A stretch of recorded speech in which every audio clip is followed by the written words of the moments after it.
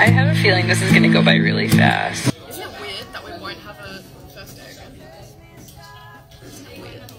This is our last first day.